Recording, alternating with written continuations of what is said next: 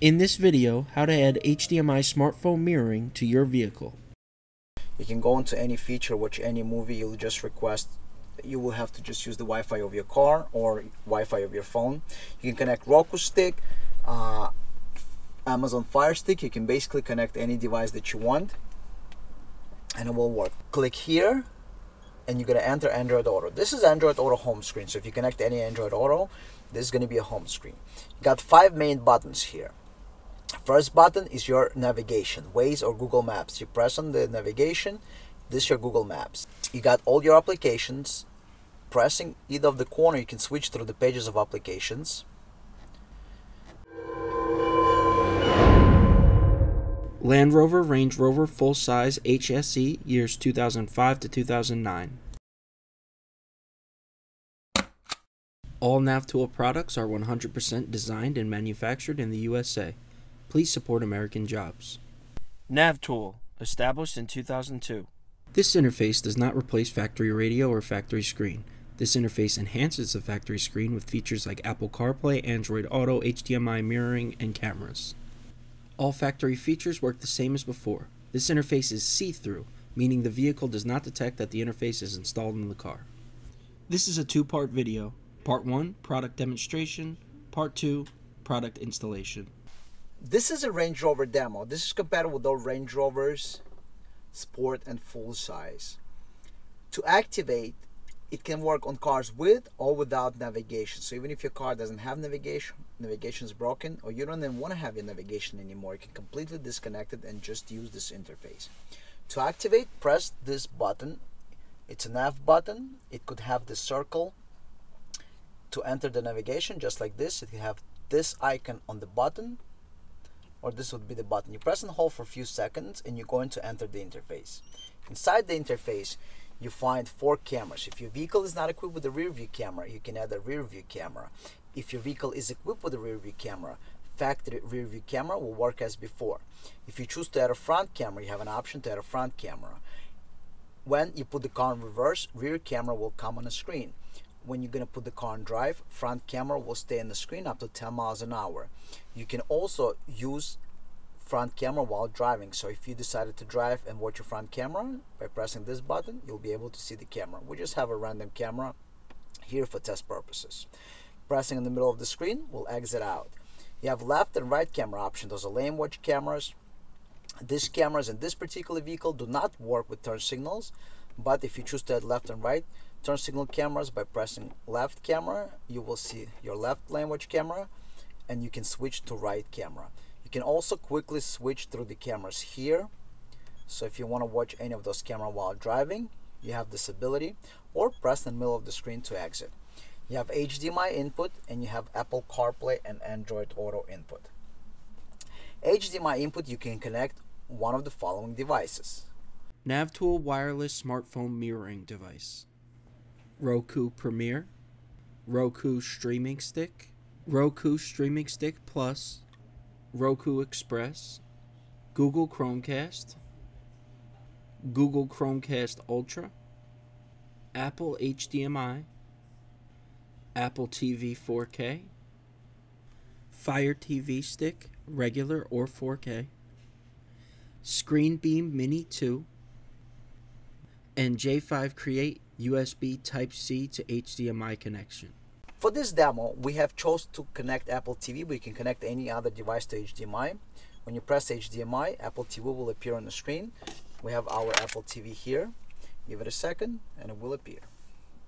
It was off. Now we're going to turn on with the remote control. There we go. We got our Apple TV connected. Now, if you have Apple TV installed in a car and you have this remote, Apple TV can be hidden anywhere. And using the remote, you can go into any feature, watch any movie. You'll just request. You will have to just use the Wi-Fi of your car or Wi-Fi of your phone. You can connect Roku stick, uh, Amazon Fire Stick. You can basically connect any device that you want, and it will work. To exit from HDMI, just press anywhere on the screen, and it's going to exit out. Android Auto Demo click here and you're going to enter Android Auto. This is Android Auto home screen. So if you connect any Android Auto, this is going to be a home screen. You got five main buttons here. First button is your navigation, Waze or Google Maps. You press on the navigation, this is your Google Maps. You can change from Google Maps into Waze. Click on Waze, Waze app is going to open up.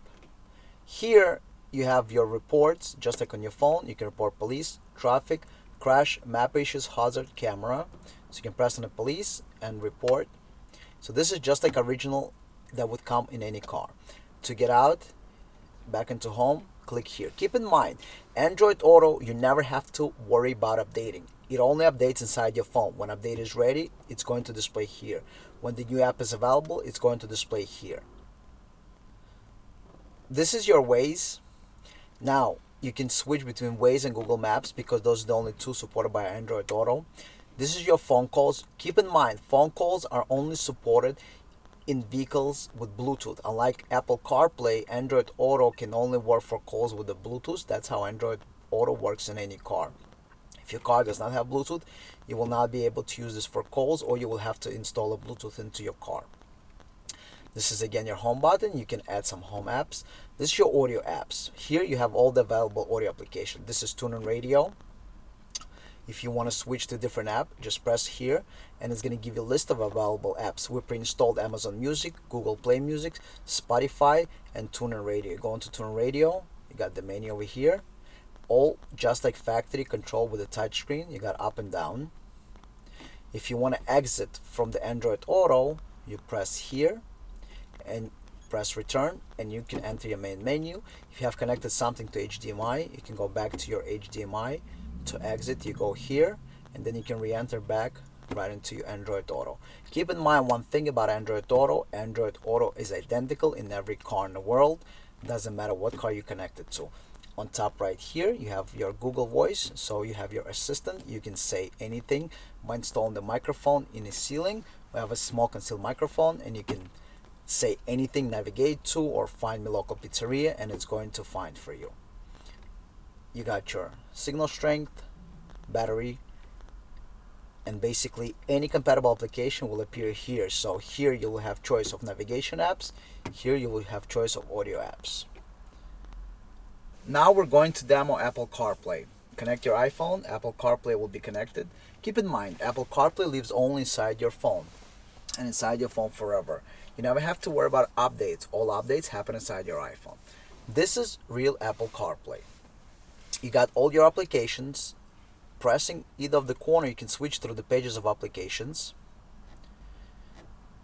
And pressing here will go back or you can just press home to go to the home page. To get out of the CarPlay press this button. It gets out to get back in. You go in here you can also rearrange your applications by going into settings of your iPhone in your phone go into settings in settings you go into general in general, you go into CarPlay, and in CarPlay, you go into the CarPlay. This is your application. Let's say I want to move my Waze from the back all the way to the front. Watch the screen. I'm going to place it instead of messages. I'm going to take my Waze and I'm going to move it. And I want to move it to the first page. So it's going to be next to the um, next to the Maps application. Uh, all right, right there. Watch. I'm placing. Now watch the screen right there we got the Waze so that's it so we have all the applications on the screen full touch screen so we got regular maps we got now playing so whatever on TuneIn Radio is playing keep in mind that your radio has to be in aux mode and interface connect to your aux and you can press play standing here no standing there you can go 30 seconds back. This building you can no pause. You can play. ground no standing here. You got your three most recent applications. You got your phone calls. You got your um, home button here. And then you can select your favorite three applications. So you can switch to Waze. This is your maps. You got your reports over here. You can do police accident traffic hazard. So if you want to report an accident report is being sent you can go back into your TuneIn Radio local radio you can change you know to anything you want you got your up and down arrows here you got your phone calling you go into your phone and you can dial the number. Let's say we're gonna dial two one two five five five one two one two.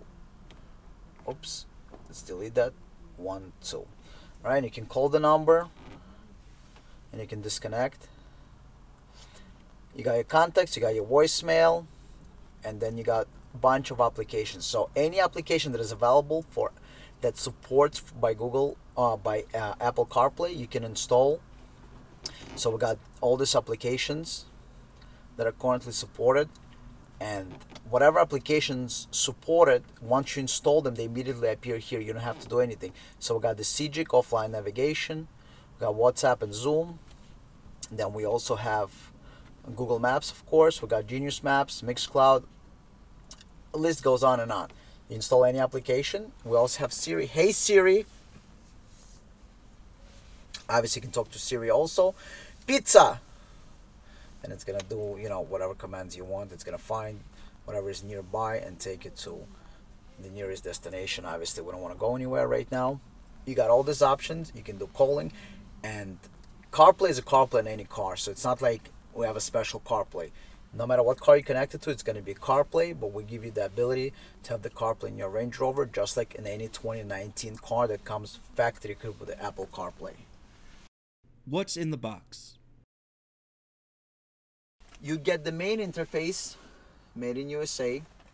You got on this side, you got HDMI connector for mirroring or any HDMI device. Got the update port. Got a USB port for charging, or if you purchase internal cable for internal module for Apple CarPlay and Android Auto, you connect here your iPhone or Android. You got Apple CarPlay and Android Auto. On the other side, you got the, video, and you got the main connector you get the harness for the main connector you get the microphone for Siri and Apple CarPlay and um, Google Android Auto you get the connection for the microphone. You also get the power connection. You get two digital cables. And you get the cable to do the USB update using Windows or Mac computer. We also recommend buying additional auxiliary cable, something like this, so RCA to three and a half millimeters. You can insert in the car's auxiliary. We have them available on our site, and you can also purchase long USB if you like. All interfaces must be updated before use. In some cases, if you do not update the interface, the radio will not even turn on. First, click Find Device. Make sure that the interface is connected to your Windows or Mac computer using a USB data cable. Make sure that you have a data cable and not simply a charging cable. If your interface is connected using a data cable and click Find Device, you will have options appear here. This menu indicates that your unit is connected to the computer properly. First, let's select the software. For this demonstration, we will use a 2013 Cadillac CTS as an example. Click Search. As you see, there is one software available. Highlight the software by clicking on it and click Install. Now we wait for the installation process. Once it's complete, we can move on to step 2, which is configure camera or video settings. This process should only take about 30 seconds. Keep in mind we have remote support available up in the top right of the screen. NavTool is able to access your computer and help you along with the process if you're having trouble. When software installation is complete, you will see this screen. Go ahead and click Close. Now let's go ahead and move on to step 2, which is Configure Camera Settings. The first step, we want to select Turn on HDMI Wireless CarPlay Android Auto Video Input. If we have any of these features, we're going to want to select this. On the left side of the screen, we're going to want to select any cameras that were not already equipped in the car. For example, if your car has a factory rear view camera, you do not need to select that. On the right side of the screen, you want to select any factory cameras your car has. For example, if your car came with a factory rear camera, this is where you would select that. So let's say for our demonstrations purposes, our 2013 Cadillac CTS came with a factory rear view camera. However, we installed front, left, and right facing cameras. This is how the configuration should look. Next, we scroll down. On the left hand side, we have forward facing camera settings. You have two options. The first is manual. This means that the forward facing camera can only be turned on manually by the driver. The second option is manual speed check. This option is good for parallel parking. If you put the car in reverse, the rear facing camera will come on. If you put the car back into drive, the front facing camera will automatically turn on at any speed up to 10 miles an hour. On the right hand side, you have settings for left and right lane watch cameras. These settings are only for aftermarket cameras that you've added to the car. The first option is manual, which means the cameras can only be activated manually by the driver.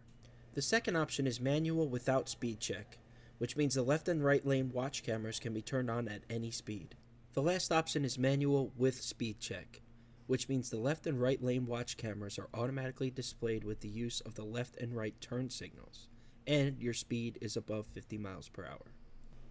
When all the settings are complete and correct, go ahead and click Save Settings and then Close. Next, you have on-screen display settings. These are the settings of the four camera inputs. This is basically the display name for each of the cameras. You can make it input 1 or front camera, input 2 or rear camera, etc. If you're using the basic four cameras, front, back, left, and right, we find it's easier to just leave them as the camera name. Also, deselect all of the options on the left regarding overlay text. Once you're happy with your settings, go ahead and click Save Settings. Feature activation is only available in certain vehicles, so go ahead and disregard it. And that's it, you're finished. Go ahead and disconnect the interface from the computer and proceed with the installation. Interface installation. Whether you have full-size Range Rover, or Range Rover Sport installation is identical. The only difference is your navigation DVD-ROM location. In the Range Rover Sport and other models, it could be under the driver's seat. In the full-size vehicles, it's going to be in the rear trunk. Open the cover, and after you open the cover, we need to access this DVD-ROM drive. Keep in mind, if you have factory DVD player, we also have a video in motion for the cars with factory DVD if you want to use DVD while driving. However, for this installation, Apple CarPlay, smartphone mirroring, most of the installation is done at the navigation DVD-ROM. You can also do installation, identical installation behind the screen, but this is much easier location and you can easily run the wires to the side. Alright, so first we need to remove this. It's easily removed by removing the screws on the side of this unit and the unit comes out. Once you remove the screws, just simply pull it out, give it a little pull, and you have access to all the connectors. Remove all the connectors, don't worry about it, there is no cord in here. We will need access to these wires. Once they're removed, we will need to access this cable and this cable. You can route it through the back for easier work. So once pull them out through the back so you can work on the wires and then you can put them back into the spot where they belong. However, keep in mind that you can also remove this whole panel, but we prefer to do it this way. So we're just gonna snake the wires through the back here into the front and we'll have access to all the wires. So there you go. So it's easier to work on the wires when they're here in the open. Okay, we have access to all the wires. Now, using a blade like this or similar, on this cable here, remove the tape. So you can have access to the wires. In here, you will need only four wires. You need the twisted pair, these are your CAN high and CAN low wires. And then we need the power and the ground wires. And then this is your digital video line. All right, first wire we want to do is CAN high. This is your yellow wire. What you want to do is a few inches from the connector, you want to take the yellow wire and snip it in half. You're going to have two ends of the wire. And you're going to take the supplied harness that we gave you, this one, and you have two ends of the wire. You got the navigation side and you got the car side. So here's what you want to do. You want to strip the end of the wire and to this end, to the connector end, after you strip the wire from the supplied harness, connect orange wire. Here's how you want to connect it. You want to twist the two wires together and then we're going to cover with them with a piece of tape once you twist them together this connection is going to stay there forever you want to take a piece of tape and apply. So take a little bit of electrical tape and you apply the electrical tape. When applying electrical tape don't forget to pull on the tape a little bit. So when you pull on the tape it's gonna make a very good connection.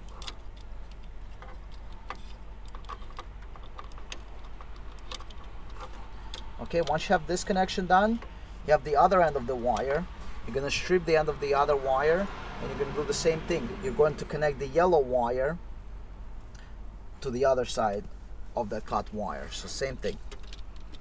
Yellow wire. And you want to connect them together. And then when you connect them together you want to tape them up. You can also solder this connection if you like. Now cut the green wire.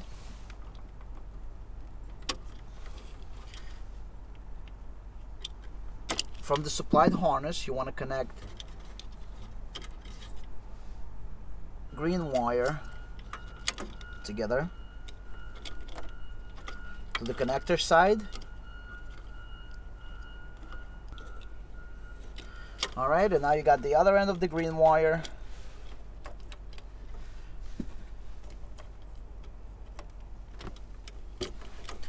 you're connecting the white wire.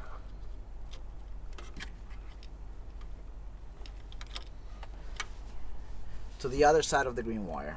So your CAN wiring is now completed. So it's only two wires CAN high and CAN low. Okay? And now you have two more wires. You got constant power and ground. Now we need to connect power find red wire with green stripe that's going to be a constant power. You want to do a mid strip on the wire just like that to expose the shield. After you strip the wire using something like this like a pick tool you want to make a hole in a wire to make a connection more secure so you make a hole in the wire. Because it's a multi-stranded wire which means there's a multiple strands. And you want to insert this red wire in here and twist it around so you insert it into the opening. When twisting this wire on be careful. You got ground here so be careful not to touch it. So this plastic here but here you got metal so make sure not to touch this when doing this particular connection. All right and then just apply electrical tape to isolate the connection. We prefer using good tape so it stays in all conditions especially if you don't do taping for a living. Using more expensive tape will make your connections more reliable. Now you got last wire. This is the brown wire. This is your ground. Just strip the wire. And again once you strip the wire take something like that. Be careful not to poke yourself. Make a hole. Insert the black wire through the hole. Twist. And apply electrical tape that's it. Your connections are done. If you want you can put more tape on all those connections. But before you do that we're going to test everything. Now we got to do our video signal. This cable right here you want to cut it. Do not cut it too close. Take a few inches away cut it in half. You're gonna do this on both sides of the cable. You're gonna strip this cable. Carefully remove the shielding you might want to use a blade. Just give it a little cut through. And after you're going to give it a little cut through you're going to expose. You're going to cut off this you're going to cut off you don't need this. So you're left with the shield. You want to twist the shield together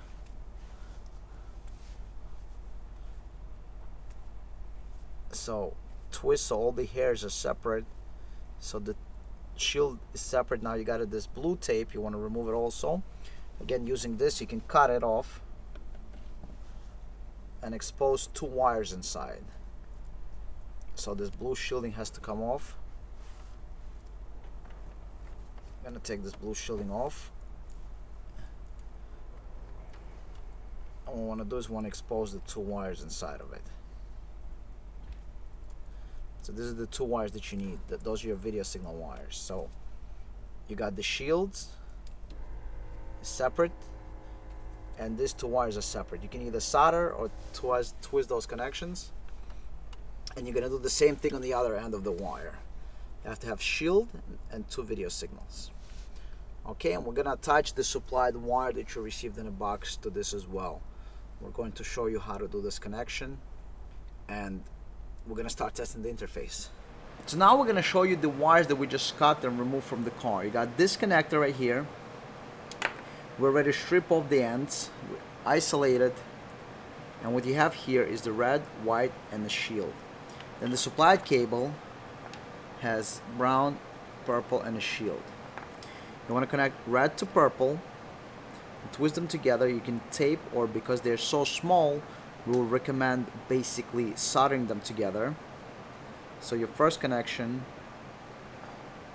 is purple to red. Your second connection is red, is white to brown.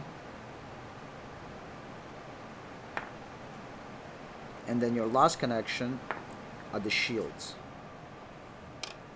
And you're going to do same thing inside the car of the other cut wire. Since you got two these cables, you're going to connect inside the car to the other end of this cable. You're going to connect purple to red, brown to white, and shield to shield. We recommend soldering those wires and eliminating them, isolating them with electrical tape or heat shrink. So you, this is your connection. The wires must be separate, not touching each other. So you can strip more of the wire. And if you solder those connections and tape them off, this connection is going to be as good or even better than the factory connection. So remember, red to purple, white to brown, shield to shield, and go do the same thing on the other wire of the car. Try to cut off at least an inch or more. We recommend at least two inches if you don't do this every day. So this way, when you have enough cut off, you have an excess. If something happens here, you can strip more of the wire so you're not left with a little bit of wire. So basically try to use at least two inches if you don't do this daily for a living. This is very easy connection. Alright, now let's move on to final connection of all the wires. In here, you're going to connect your HDMI. If you connect anything as far as mirroring, Apple CarPlay, Android Auto goes in here. And in here, you could your update. Once you update, you never have to update it again. This could be used for USB charging, but if you have Apple CarPlay and Android Auto, this will only be used for Apple CarPlay and Android Auto. This is your HDMI input. If you have Apple CarPlay or Android Auto, do not use this to power up your HDMI devices. Your microphone connects here and then you run the microphone along the side of the car as, far, as long as your auxiliary behind the panels and into the location that you choose in the car. You can also buy a USB extension and run the USB extension in HDMI along the panels, under the panels, into the preferred location, either the center console, throughout under the seat, or any other location that you prefer to have the connections in a car. Now that you connected these two cables and you got this cable you're gonna take the main harness and plug it in. You can unwind this if you want to up to you. Plug it in. Once it's plugged in you have this cable plug in the microphone connection to here. This is your audio cables that goes to the auxiliary of the car. If you're adding any extra cameras connect them here. You got two cables. The cable that goes back into the car you're going to connect in here into the other one. So this is that goes back into the car. In this one you're going to connect the navigation side this cable that goes to the navigation. So keep in mind the inside one you got camera so this goes to the screen and this goes back to navigation plug in the main cable and you're done with your installation go to the front press and hold the nav button and make sure the interface activates Thank you for watching. Please click the link on the left to subscribe to the channel, or click the link on the right to watch the full video.